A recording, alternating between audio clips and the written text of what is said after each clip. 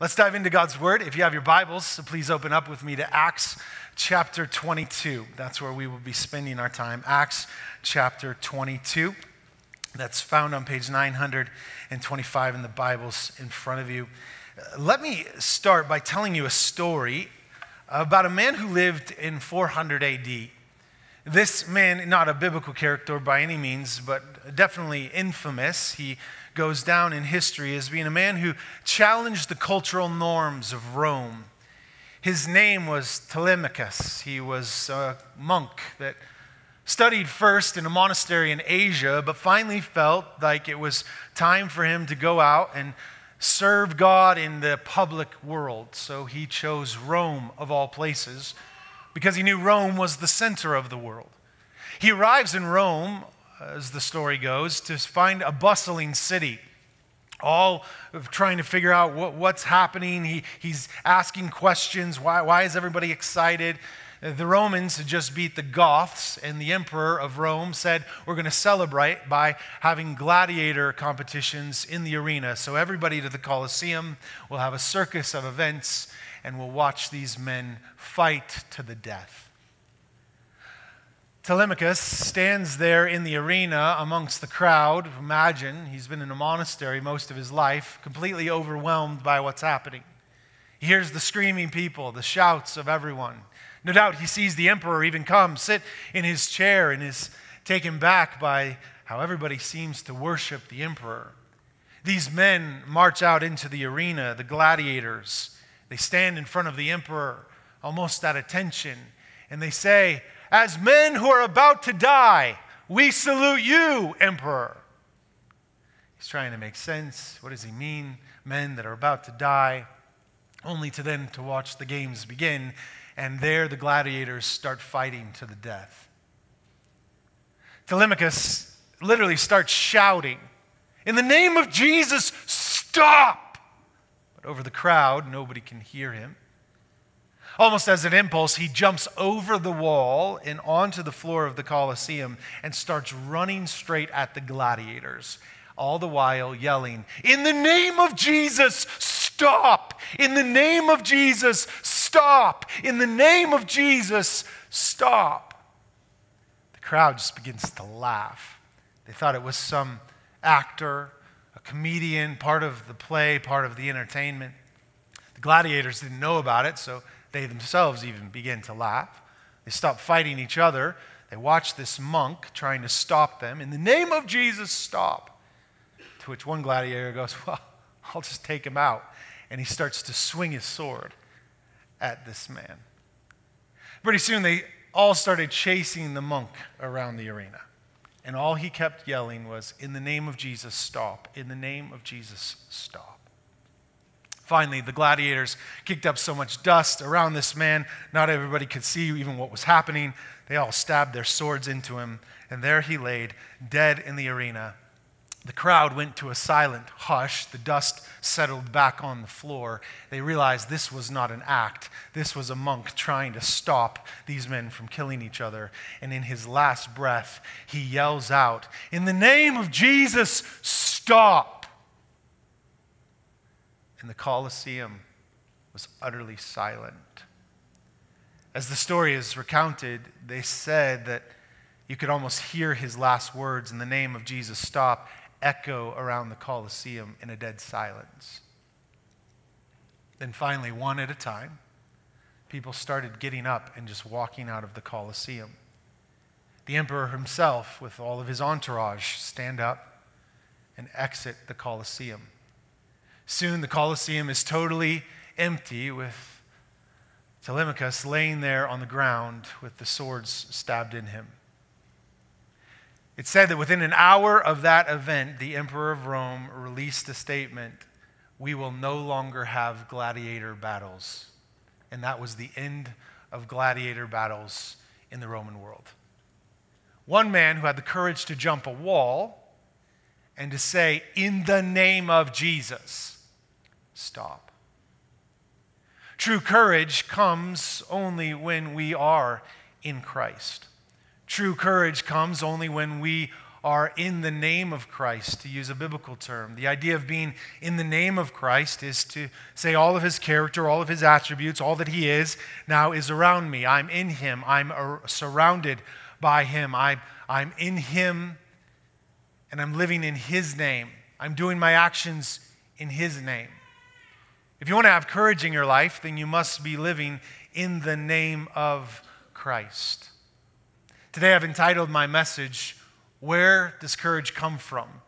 Where, where is the source of courage? Where do we find it in our lives? Listen to me. Your life demands courage. You have to have courage for the things you face. Whether they're health issues, their career changes, raising kids in the crazy world that we live in, having a marriage that pleases Christ, being a Christian in a world that is constantly turning post Christian or even opposed to Christianity, you must have courage. Where does courage come from? I want to show you where courage comes from today. Now, listen to me, believers. If you know Jesus Christ is your Lord and Savior, you have to have courage because you're following a man who literally died on a cross for you. The very center of our belief system is the death of our Savior. So, courage is demanded from those of us who follow Christ. And if you are not a Christian, then I'm glad you're here and I'm glad you're listening. But let me say to you if you don't know Jesus Christ, your courage will run out. At some point, everyone in your life will abandon you. People will turn on you. There will be people that you thought would always be loyal, and they will turn on you and you yourself will run out of courage at some time. And I don't want you to live one day past this day without the courage of Jesus Christ. So if you don't know him as your Lord and Savior, let me introduce you to a Savior who will never abandon you, who will never leave you, who will never betray you. And I hope to do that through our time together in God's Word. In the passage that we're looking at in Acts chapter 22, we're picking up with a man who had great courage, the Apostle Paul, after he'd just been beaten by a mob and stopped. He's now put in front of another mob or a trial to somehow see if the, he should be killed or if they should just do away with him. You remember, prior to this instance, at the end of 22, chapter 22, the people actually started screaming, Away with this man, verse 22. We want to get away from him, away with such a fellow. He should not be allowed to live. Now he's having to speak to a crowd who wants his existence wiped off of planet Earth. We're going to look at the story of how he responds, and then today you will be confronted with a choice. Will you be one who has boldness of Christ this week, or will you try to live out your life in the next seven days with your own strength? Which will it be? That's the question I believe this passage poses to us. So let's pick up Acts 22, beginning in verse 30. After the beatings had stopped, perhaps some night of rest in a jail cell had happened, Paul is now pulled back out by the Roman rulers to say, I'm going to get to the bottom of why the Jews hate you so bad. So it says this in verse 30 But on the next day, desiring to know the real reason why he was being accused by the Jews, he unbound him and commanded the chief priests and all the council to meet, and he brought Paul down to set him before them. So the Roman rulers of the time are now saying, We want the religious rulers, which would have been known as the Sanhedrin, this ruler of about 70 men, uh, made up of Pharisees and Sadducees. I'll explain all that to you in a moment. They are now to try by Paul. And the Roman rulers are saying, Why do you religious rulers have such a problem with this guy? Why are you wanting to kill him? So they put him before the Sanhedrin. Verse 1 of chapter 23. And looking intently at the council, Paul said, Brothers, I have lived my life before God in all good conscience up to this day. And the high priest, Ananias, commanded those who stood by him to strike him on the mouth. Then Paul said to him, God is going to strike you, whitewashed wall. Are you sitting to judge me according to the law, and yet, contrary to the law, you order me to be struck? I think there's a structure to this passage that will help you understand it. Let me begin to lay that out for you. There's four main parts to the verses we're looking at through verse 11 today. The first is Paul's persecution. Paul is put before the Sanhedrin and persecuted because he is believing in Jesus Christ, and the Jews thought he was speaking against the law of Moses and specifically speaking against the temple. So they're persecuting him. He probably wasn't surprised by that because Christ himself said, Hey, don't be surprised when they hate you because they hated me first. But nonetheless, here is this man who's been beaten the day before, probably didn't sleep well. He, was, uh, had, uh, he has all sorts of people that are ready for him to be killed, and he stands in front of these men. And notice the phrase it says, He looked intently at them. I have to wonder, was he staring them down because he was trying to recognize them? Some commentators believe Paul didn't have very good eyesight. So maybe there he's squinting, like, I was here 25 years ago. You guys have grown more facial hair, gained more weight. I see you. I know some of you. You know me because he would have. He was a Pharisee of Pharisees. He would have run with some of these men. So perhaps he's looking intently to say, I know you, I recognize you. Some say maybe he's looking intently because it was early in the morning and dimly lit by torches. So he's trying to look through the darkness who's here? Who's trying me? Or perhaps he's being like Proverbs 28 1, as bold as a lion. The righteous are as bold as a lion. So perhaps it was that look intently, like, oh, really? This is how this is going to go down? The wicked flee when no one's pursuing, but the righteous are as bold as a lion. So, with intensity, he looked at them. And then it says the, the, the high priest has him hit. He says, strike him on the cheek, hit him in the mouth. To which Paul then replies back and said, Really? Is that what you're going to do? God is going to strike you, you whitewashed wall. I like that. I like the vigor. I got to tell you, if I got hit in the mouth, I probably wouldn't say another word. He opens his mouth immediately, and he doesn't just open his mouth to call names. He opens his mouth to draw attention to them being hypocrites. He says, You're striking me. The, the, the, the, Jewish understanding of the law was that they were not to strike another Israelite. In fact, there's two main statements in the Jewish law. The first is, He who strikes the cheek of an Israelite strikes as if he were striking against the glory of God. The other is, that if you strike a, a Jew or an Israelite, it's as if you're striking God, you're punching God. So he's saying, You're striking me? You're hitting the glory of God? Really? That's how this is going to go? You whitewashed wall. You're judging me, and yet you yourself are breaking the law? Now, there's a couple things I love about that. Not only his boldness, but he's continually keeping in mind that God's word, the law, which they're judging him against, must be observed. So he's saying, You're trying me for not observing the law, and you yourself just did exactly what the law said not to do. And he calls them a whitewashed wall.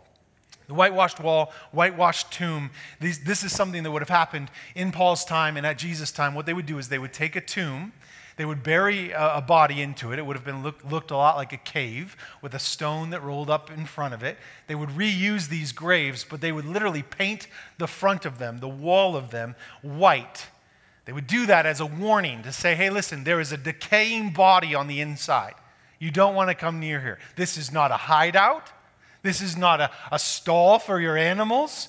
So we paint it white as a warning don't come near here.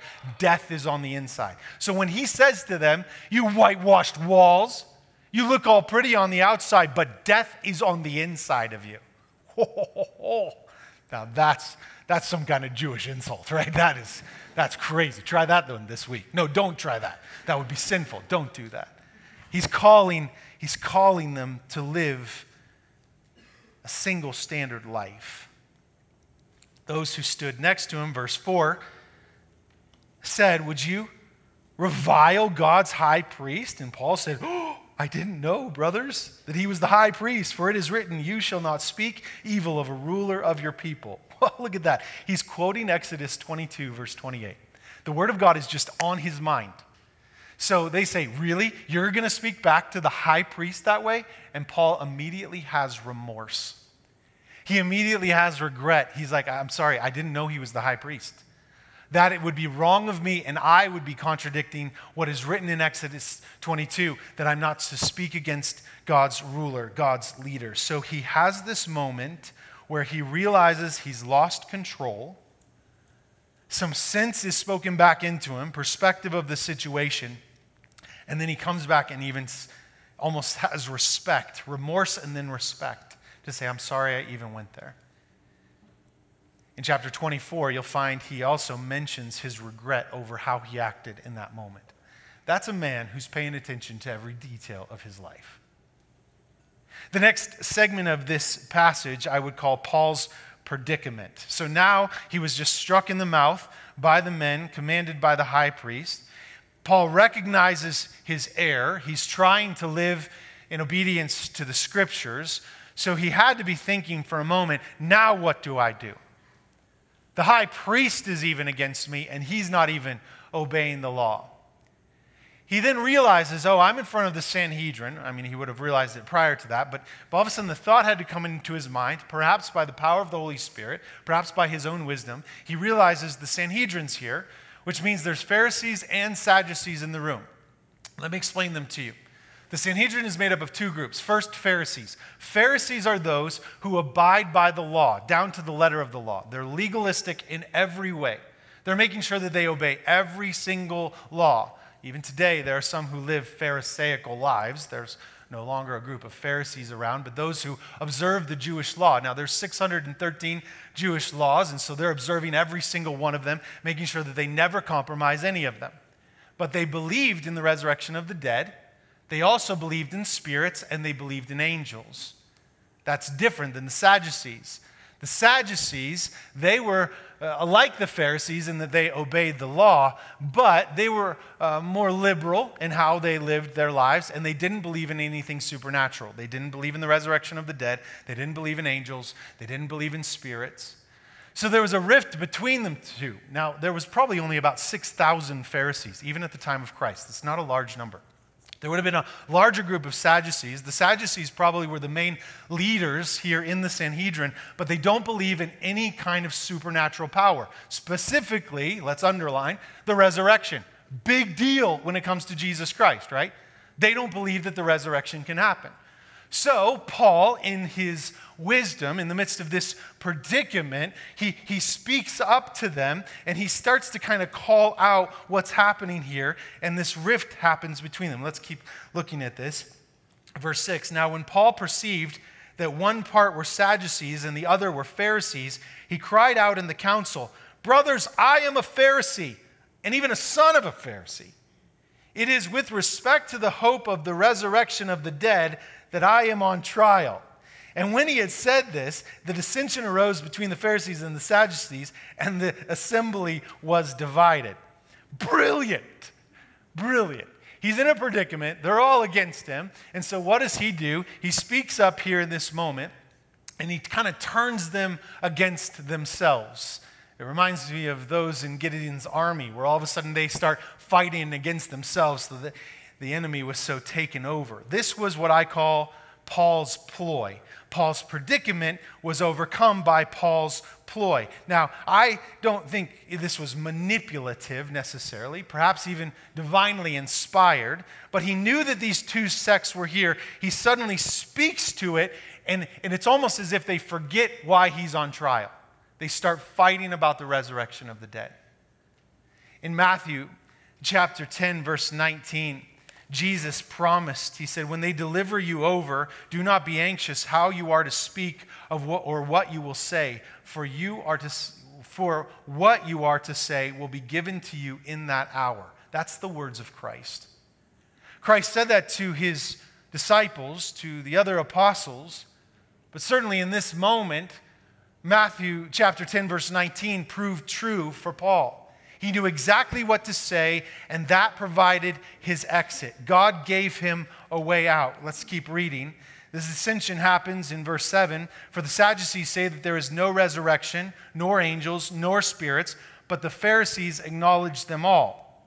So the Pharisees, they believe in a resurrection. The Sadducees, they don't. That's why they're sad, you see. Yeah, get it? Okay. That'll help you remember it. Then a great clamor arose, and some of the scribes of the Pharisees' party stood up and contended sharply. We find nothing wrong with this man. What if a spirit or an angel spoke to him? And when the dissension became violent, the tribune, afraid that Paul would be torn to pieces by them, so this is the Roman ruler, the tribune says, uh, commands the soldiers to go down and take him away from among them by force and bring him into the barracks. Paul's exit is divinely given to him, perhaps by the prompting of the Spirit, the promise of Matthew 10 19, where now he can say, Listen, you guys fight amongst yourselves, I'm out. And the Roman guards take him out, and his life is saved. It's, it's an unbelievable story Paul's persecution, Paul's predicament, Paul's ploy. But the part that I want to spend the remainder of our time on is verse 11. This is the part of the passage I call Christ's presence. Well, Christ has been a part of this entire thing. It's been about Paul, Paul, Paul, but now Christ. In Acts 23, verse 11, it says, The following night, the Lord stood by him and said, Take courage. For as you have testified to the fact about me in Jerusalem, so you must testify also in Rome. Oh, man. This week I was reading this passage and I came to verse 11. And literally, I was sitting on my couch, I had my laptop on my lap, my Bible was open, and all of a sudden, tears just welled up in my eyes. Because I, I, I was as if I could picture the discouragement that Paul must have been feeling and the sweet balm of Christ's presence that met the open wound in his soul. He had been rejected by his own people. If you remember, he was so stone faced in his resolve to get to Jerusalem and preach Christ. He gets to Jerusalem, he preaches Christ. He's almost beaten to death at least twice. A whole night goes by. Discouragement had to be all around him hopelessness, disappointment, doubt. God, did you really call me here? Is this how it's all going to end? It tells us that a whole day passed, 24 hours in Paul's condition had to feel like an eternity. And there he sat, hoping, praying, questioning, asking God, God, is it all over? And God gives him perhaps the sweetest gift besides his initial meeting with Christ in salvation, God gives him the sweetest gift of having Christ stand by him. Do you see the words there? The Lord stood by him. The Lord had appeared two other times besides the initial time to Paul, but once it was in a trance, he was seeing a vision. The other time it was in a dream. Now Paul is in a prison cell. And it says that the Lord Jesus Christ stood by him. Come on. In a moment where he had to wonder, where is everyone else? I mean, if you're reading your Bible with your eyes open, you have to ask the question where's James? Where are the apostles? Where is the early church? Seemingly, all the Christians in Jerusalem have somehow scattered and are nowhere to be mentioned in this passage. So maybe even there, in that moment, Paul is in his prison cell, feeling utterly alone. And God gives him the gift of Christ standing by him. I remember being in Israel, going through one of the hardest seasons of my entire life. It wasn't because of Israel, it wasn't because of the tour. There were things going on back home, some consequences of my own poor choices prior that were coming out, and friends that were betraying me.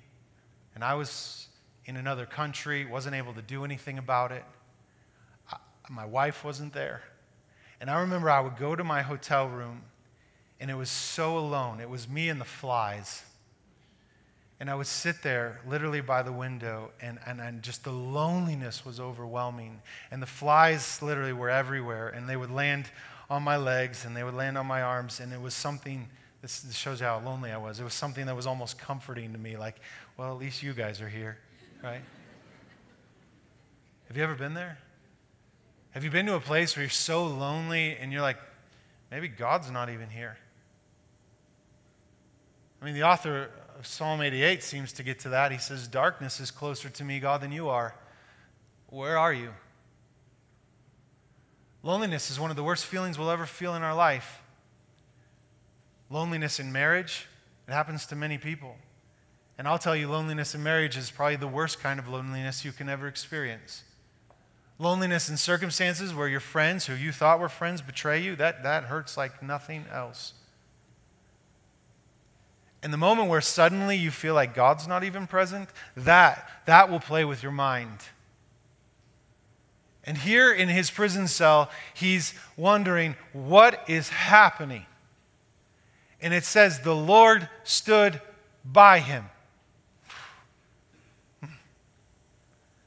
He's standing next to him in some physical manifestation. Let's believe that it's him in the flesh. The risen Christ is standing next to him, and the first word out of his mouth is this word tharse. It is one word in Greek, it is two words in English. It is take courage. He says to him, Take courage. Tharse.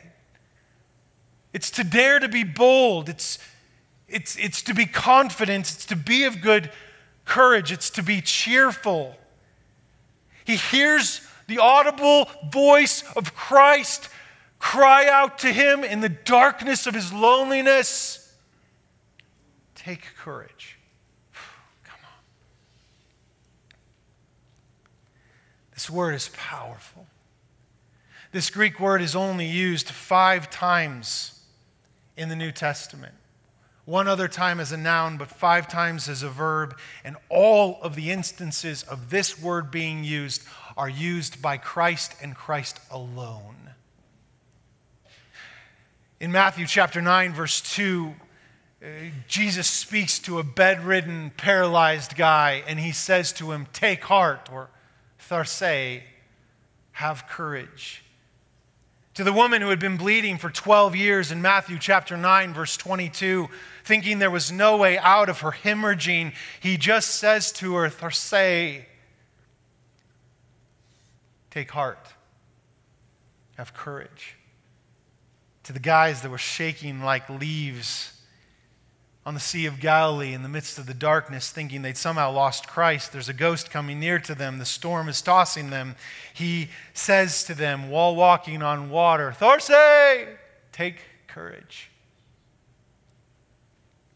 And in John chapter 16, verse 33, in the upper room on the night of the crucifixion, the night before the crucifixion, the night of the trial, Jesus uses this word take heart courage. In the Old Testament, the Hebrew word that would be the parallel to this, it actually is make yourself strong. And in the Old Testament, prior to Christ on earth, it seems to be that we are to have courage, like Joshua 1 9, be strong and courageous. This idea of it's virtuous to us to have courage in and of our own strength, to have a quality in our mind that, that somehow musters something up in our soul that we're ready for battle. That's how the Old Testament seems to portray it. In fact, in chapter 8 of in verse 7 of the Proverbs, it talks about this idea of courage being a cardinal characteristic of our lives. But all that gets flipped on its head in the New Testament. In the New Testament, the absence of the word courage is astounding to me. I can't find it except in verses like this, where you see Jesus himself saying, Take heart, have courage. It's as if he's saying, Have courage in me. I'm the only place where your courage should come from. It isn't you mustering it up, it isn't your own virtue of being brave, but rather it's courage found only in Christ. What does this mean for us? Here's, here's the main point I want you to get today. For the Christian, courage is not a virtue, but a way of life based on faith in the presence of Christ. Courage is not a virtue you seek out, but courage is the outcome of a life full of faith in Jesus Christ. My friends, there is no, you just got to grin and bear it through life in Christianity. The call of a Christian isn't just to be tougher, smile more, stuff it down. It's not the call of Christianity. The call of being a Christ follower is that we take everything and we place it upon Christ. We realize that Christ is the very one who helps us through every opposition and gives us future deliverance from those circumstances so that his gospel, the truth of his word, will go into more lives.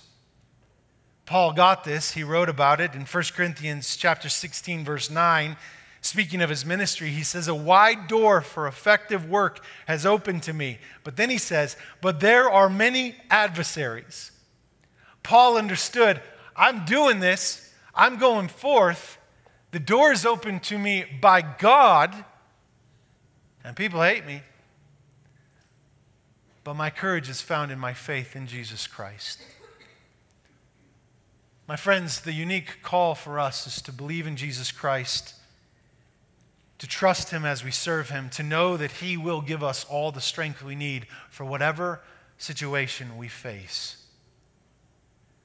I want to encourage you this morning that you need to trust God in all circumstances, that your faith needs to increase for the sake of His glory.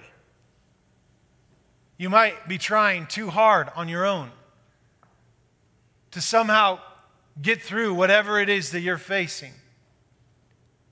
And you have not yet fully found yourself collapsing on the sufficiency of Christ. I say to you today rest upon Christ crumble on the very bedrock of our faith, which is Christ, and find your strength there.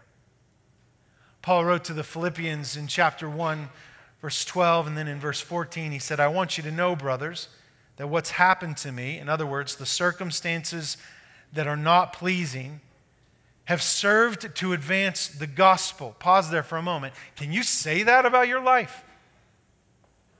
Could you say that even the circumstances of the hard marriage, the wayward kid, the unemployment, the dried up bank account, the way too many hours spent working for seemingly, seemingly nothing, the strife with the in laws, the questions, could you say that all those things are somehow working in you to advance the gospel? That's his perspective. Come on, bring it on. All these things, they're doing something. They're, they're striving to make me more like Christ. They're driving me to make the power of Christ more known to the watching world. And then he goes on in verse 14 and he said, And most of the brothers, by watching my hardship, by watching what I've gone through, they have become more confident in the Lord by my imprisonment and much more bold to speak the word without fear.